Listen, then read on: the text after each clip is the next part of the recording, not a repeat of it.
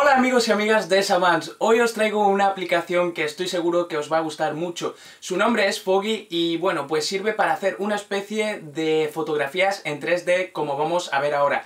Vamos a pasar al androidecillo y vamos a analizarla, os voy a explicar un poquito cómo funciona. Vamos a ello.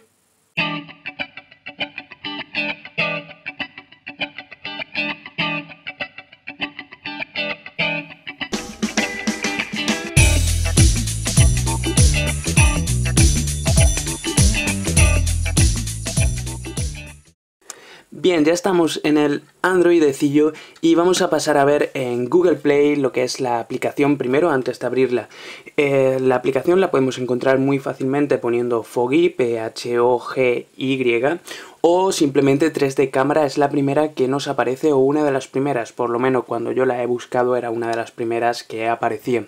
Vemos como tiene 100.000 descargas, una valoración de nada menos que 7.000 815 usuarios de un 4,1 que le ponen esta nota que, bueno, pues mm, no cabe decir que, es una puntuación realmente muy buena. Y eh, bueno, pues eh, tiene un peso de 9,94 megabytes. Vamos a abrir la aplicación y vemos como tiene un diseño bastante cuidado, una interfaz oscura eh, pero bueno, que, realmente no se, o sea, se hace atractiva a la vista y cumple muy intuitivamente con su cometido que es, bueno, pues eso, darnos eh, de una manera muy sencilla eh, lo que son las diferentes opciones. La primera de ellas es haga una foto, vamos a probar, a empezar probándola y me gusta mucho que aquí al principio aparezca eh, detalladamente y la verdad que de forma bastante eh, sencilla las diferentes eh, los diferentes usos que tiene esta aplicación y las instrucciones de cómo usarlo para que nos dé un buen resultado. Vamos a darle a omitir porque os lo voy a explicar ahora. Y bien, lo primero que tenemos que tener en cuenta es que vamos a poder únicamente tomar la fotografía de forma vertical. Em, bueno, os voy a poner primero lo que es un ejemplo, mm, por si queréis ver primero el resultado que vamos a tener. Esto se supone que es el, el ejemplo que nos viene y el efecto que vamos a tener es este. A ver si se puede apreciar bien, voy a enfocar. Voy a enfocar, ahí. Y bien, vemos cómo girando giramos también lo que es la fotografía y nos da esta sensación de 3D. Vemos como el objeto principal de la imagen pues eh, aparece eh, siempre en la misma posición pero lo que es el fondo pues lo vamos a poder ir moviendo. Este es el efecto que nos va a dar eh, Foggy y el que vamos a intentar que nos salga ahora para haceros una pequeña demostración de cómo se podría eh, hacer. Bien, vamos a darle a hacer una foto, vemos cómo nos aparecen de nuevo las, eh, las instrucciones que os comentaba anteriormente y aquí no nos deja de aparecer las instrucciones, algo que bueno pues es bastante eh, útil teniendo en cuenta que esto no es una, foto, una aplicación de fotografía convencional, sino que bueno pues tiene algo más. le damos aquí, podemos mm, aquí coger y no sé por qué no aparece, pero debería aparecer la cámara... La otra cámara, la cámara frontal, no sé si será un fallo. Bueno, no quiero hacer tampoco demorar más lo que es el vídeo, así que vamos a hacerlo directamente con la principal. Pero que sepáis que ese botón es para poder eh, hacer lo que os comentaba y em, directamente hacer el efecto desde la eh, cámara frontal del dispositivo, la de aquí. Bien, vamos a ver, eh, voy a quitar esto y voy a poner, por ejemplo, a David Beckham, va a ser mi modelo de hoy. Y vamos a eh, tomar una fotografía, le damos aquí, no tenemos que dejar pulsado lo que es el botón, sino simplemente pulsamos y vamos dando la vuelta. A mí esta creo que me ha salido bastante mal. Ahora vemos cómo la escribe, la analiza y la procesa y algo que me ha llamado bastante la atención y que me parece muy muy útil, realmente útil, es que nos va a decir la calidad que tiene esta imagen en, consonancia a los valores de iluminación que tenga al movimiento que le hayamos dado, etc. Vamos a ver cómo nos ha salido bastante mal. Vemos aquí que pone resultado dos estrellas. Eh, es difícil eh, conseguir una fotografía con más estrellas, la verdad, o sea, con, más de tres estrellas. Y vemos como girándola, aunque yo la verdad que lo he hecho como el culo esta vez, con perdón, em, voy a intentar hacerla de nuevo.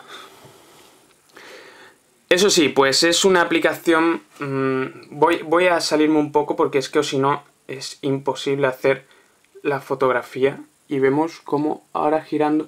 Es sobre, está sobre todo pensado para hacerlo a objetos más grandes, como veíamos eh, la niña de, de antes de la fotografía que nos da de prueba, porque si no, pues nos encontramos con eso de que tenemos, eh, vamos a, al girar, vamos a tener más problemas para que nos quede estable. Voy a enfocar de nuevo lo que es la, la pantalla del móvil y voy ahora a terminar de explicar lo que son las siguientes. Esta me ha dado menos resultado todavía. Y es normal que nos haya dado menos resultado todavía. En fin, pues eh, tenemos aquí una vez ya hecha la fotografía, podemos repetir aquí. Pero lo que nosotros queremos, o lo que yo os quiero explicar más bien, es eh, las diferentes opciones que tenemos ahora. La primera, esta sería para ponerlo de fondo de escritorio, cosa que solo nos deja hacer si somos pro. Una versión Pro que también eh, la vamos a necesitar si queremos añadirle algún efecto, si mm, tocar directamente el brillo, el contraste, el tono, la saturación, desenfocar, enderezar, enfocar, pintura al óleo, etc. Obviamente para borrar no vamos a necesitar una versión Pro, la única de las opciones que nos deja aquí tener, eh, tocar si no somos eh, Pro, al igual que poder compartirlo. Vamos a poder compartirla en modo, en el archivo específico, porque como supongo que pensaréis, pues esto no vamos a poder, este tipo de formato no vamos a poder leerlo a menos que no tengamos, a, menos de que tengamos esta aplicación, ya que bueno, pues un JPEG o un PNG, pues son formatos que no se mueven ya por su propia naturaleza.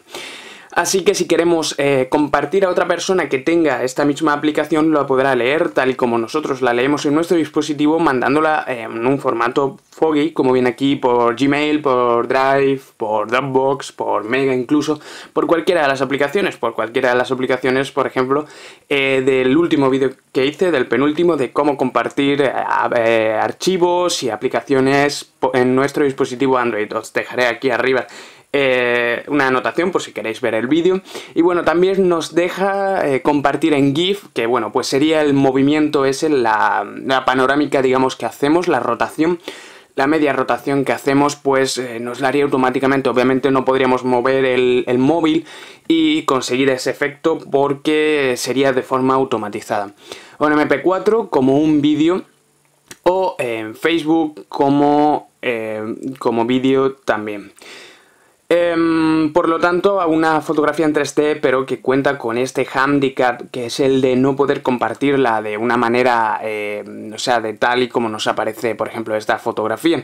Es decir, por ejemplo, si fuera un GIF, eh, nos aparecería directamente este, este movimiento automatizado y no podríamos nosotros, eh, con el acelerómetro del móvil, simular este efecto en 3D.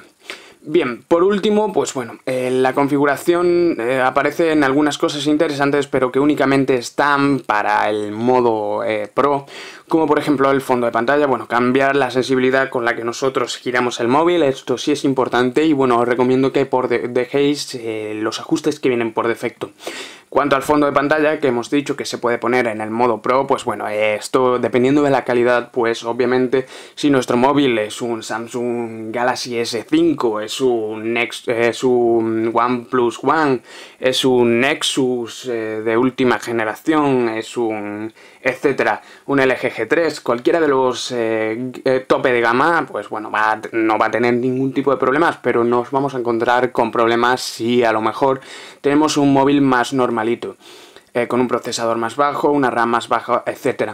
Así que para eso tenemos aquí eh, poder optimizar la calidad o la velocidad para, dependiendo del dispositivo con el que contemos, nos vaya a... no, se nos quede pillado, por así decirlo, congelado al tenerlo de fondo de pantalla.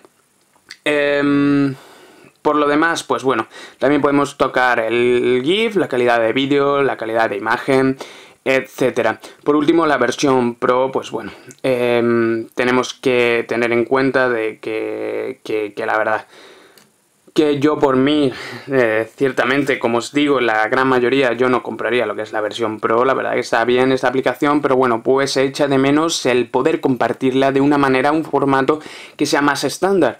Mm, esto es difícil, no es problema de la, aplicación, sino más bien de los desarrolladores del propio Android que vayan incorporando a lo mejor, eh, sería interesante un, parche para poder ver eh, directamente desde la galería este tipo de imágenes hecha con este programa.